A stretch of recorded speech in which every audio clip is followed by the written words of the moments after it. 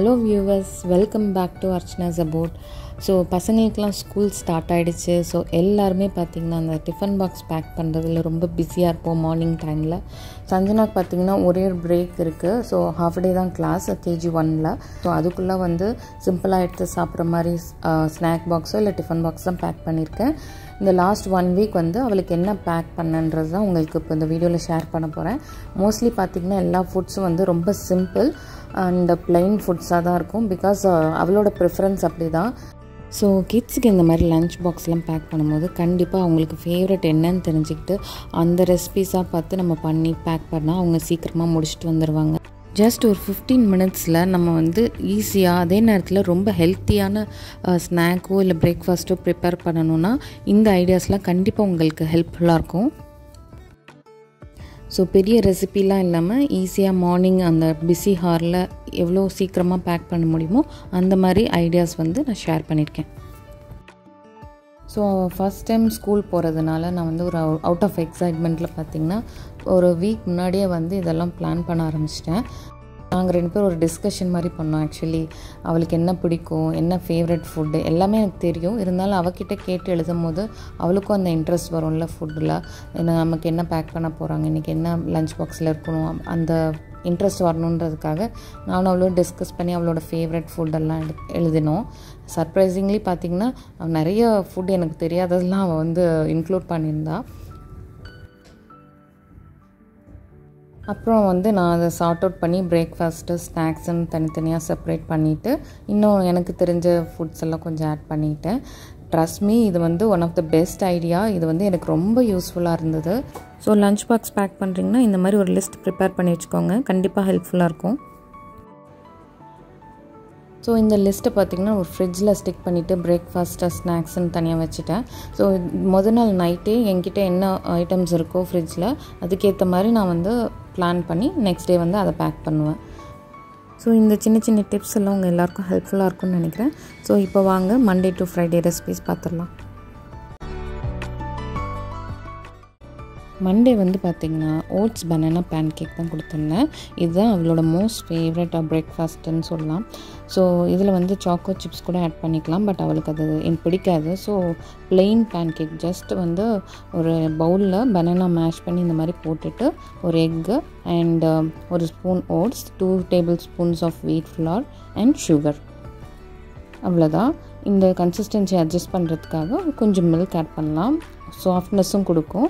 So ஒரு பேனில் வந்து இந்த மாதிரி பட்டர் அப்ளை பண்ணிட்டு குட்டி குட்டி பேன் கேக்ஸாக பண்ணிவிட்டு ஜஸ்ட் டூ மினிட்ஸில் இந்த மாதிரி ஃப்ளிப் பண்ணிடுங்க.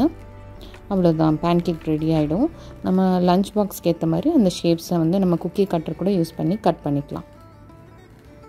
இதுக்கு டாப்பிங்ஸாக பனானா ஹனி அப்புறம் வந்து சாக்லேட் சிரப் இல்லைன்னா மேப்பிள் சிரப் இந்த மாதிரி போடலாம். நான் அன்றைக்கி சாக்லேட் சிரப் தான் போட்டிருந்தேன் அவளுக்கு பிடிச்சிருந்தது. அண்ட் குக்கும்பர் பார்த்திங்கன்னா இந்த சம்மருக்கு கண்டிப்பாக அவசியம். ஸோ அதுக்காக வச்சுருக்கேன். அண்ட் ட்ரை ஃப்ரூட்ஸ்க்காக டேட்ஸ் இது வந்து Arabian dates stuffed dates super healthy and very quick breakfast idea இது. வெரி குட்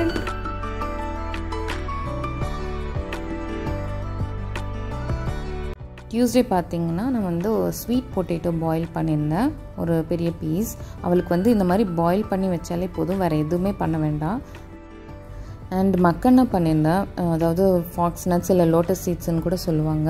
இது ஜஸ்ட் பேனில் ட்ரை ரோஸ்ட் பண்ணிவிட்டு கொஞ்சம் கிறிஸ்பியான அப்புறம் கீ ஆட் பண்ணிவிட்டு கொஞ்சம் மைல்டாக சால்ட் பெப்பர் எது வேணால் ஆட் பண்ணிக்கலாம். பட் நான் வந்து வெறும் சால்ட் மட்டும் ஆட் பண்ணியிருந்தேன். கிட்ஸுக்கு ரொம்ப பிடிச்ச ஸ்நாக் இது.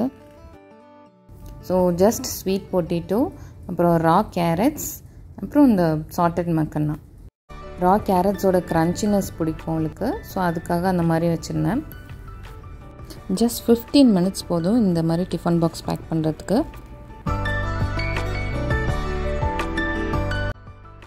வெனஸ்டே பார்த்திங்கன்னா நேந்திரம் பனானா தான் பேக் பண்ணியிருந்தேன்.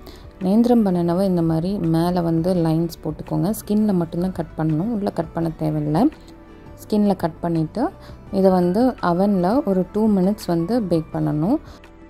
இது வந்து இட்லி குக்கரில் கூட பாயில் பண்ணிக்கலாம். அதாவது ஸ்டீம் பண்ணிக்கலாம். ஒரு five to ten minutes steam பண்ணால் நல்லா சாஃப்ட் ஆகிடும் அண்ட் ரொம்ப ரைப் பனானா எடுக்கக்கூடாது. நார்மலாக ஓரளவுக்கு ரைப் ஆகிற ஸ்டேஜில் இருந்தால் நமக்கு வந்து டேஸ்டியாக இருக்கும். சாப்பிடும்போது வந்து கொஞ்சம் திக்காகவும் இருக்கும். ரொம்ப கொல கொலன்னு ஆகாமல் இதை ஜஸ்ட் வந்து ஸ்லைஸ் பண்ணிக்கலாம். இது வந்து ஸ்மெல்லே பார்த்திங்கன்னா அவ்வளோ டெம்டிங்காக இருக்கும். எனக்குமே இது வந்து ரொம்ப ஃபேவரட் ஃபுட் இது. டெலிவரி ஆனவங்களுக்கு அண்ட் ப்ரெக்னென்ட் உமனுக்கு இது ரொம்ப ரொம்ப ஹெல்த்தி ஃபுட்டுன்னு சொல்லுவாங்க. இது வந்து மார்னிங் ஒரு காஃபியோடு வச்சு சாப்பிட்டு பாருங்கள் செம்ம டேஸ்ட்டாக இருக்கும். ட்ரை பண்ணி பார்த்துட்டு சொல்லுங்கள் அண்ட் இது கூட வந்து டேட்ஸ் அண்ட் ஆல்மண்ட்ஸ் அதாவது நைட் சோப் பண்ண ஆல்மண்ட்ஸ் பேக் பண்ணியிருந்தேன். இந்த ஒரு பனானா போதும். நல்லா ஃபில்லிங்காக இருக்கும் அவங்களுக்கு.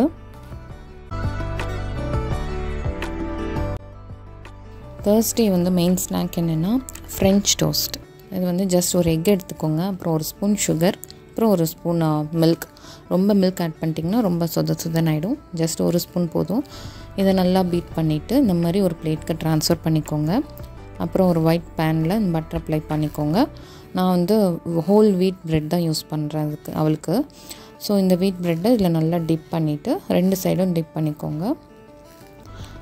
டிப் பண்ணிவிட்டு இதை வந்து பேனில் லோ ஃப்ளேமில் வச்சு ஒரு two minutes on both sides வந்து டோஸ்ட் பண்ணால் போதும். அவ்வளோதான் மோஸ்ட்லி பார்த்திங்கன்னா அவள் மார்னிங் வந்து கண்டிப்பாக ஒரு கப் மில்க் குடிச்சிட்டு போவாள் அதோட ஏதாவது சின்னதாக பிரேக்ஃபாஸ்ட் அன்றைக்கி என்ன பண்ணுறனோ அது கொஞ்சம் சாப்பிடுவாள் லைட்டாக தான் சாப்பிடுவா. அது ஏர்லி மார்னிங்கிறதுனால ஒரு செவன் ஓ கிளாக்கு அதனால தான் கொஞ்சம் heavy breakfast I mean heavy ஸ்நாக்ஸாக கொடுத்து அனுப்புகிறேன் ஸோ அன்றைக்கி கிவி ஃப்ரூட் தான் எடுத்திருந்தேன். ஸ்கின்னை ரிமூவ் பண்ணிட்டு ஜஸ்ட் ஸ்லைசஸாக கட் பண்ணி வச்சிடலாம். அவள் லன்ச் பாக்ஸ் கொடுக்குறது எல்லாமே ரொம்ப இன்ட்ரெஸ்ட்டாக சீக்கிரம் ஃபினிஷ் பண்ணிடுறதா சொல்கிறா அதனால் மோஸ்ட்லி அதில் வந்து ஹெல்த்தியாக அதுவும் மேக்ஸிமம் எவ்வளோ இன்க்ளூட் பண்ண முடியுமோ அவ்வளோ இன்க்ளூட் பண்ணிடுறேன்.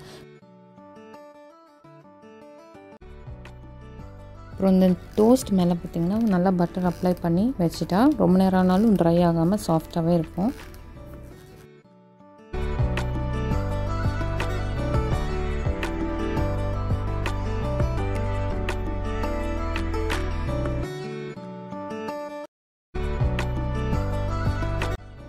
அப்புறம் பிக்டட் ஆலிவ்ஸ் அதாவது சீட்லெஸ் ஆலிவ்ஸ் அண்ட் நைட் ஊற வச்ச பாதாம்.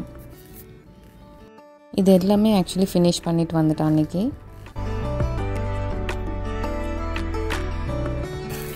ஃப்ரைடே மார்னிங்கே பார்த்திங்கன்னா அவளோட ஃபேவரட் எக் தோசை தான். சாப்பிட்டுட்டாங்க வீட்லேயே.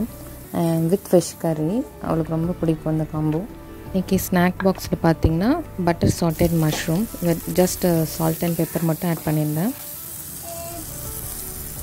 அது கூடவே um, ட்ரை ஃப்ரூட்ஸ் அதாவது ஊற வச்ச பாதாம் uh, ட்ரை கிரேப்ஸ் அப்புறம் ஒரு dates with one banana morning breakfast கொஞ்சம் ஹெவியாக சாப்பிட்டுட்டதுனால லைட் ஸ்நாக்ஸாக தான் இருந்தது எல்லாமே.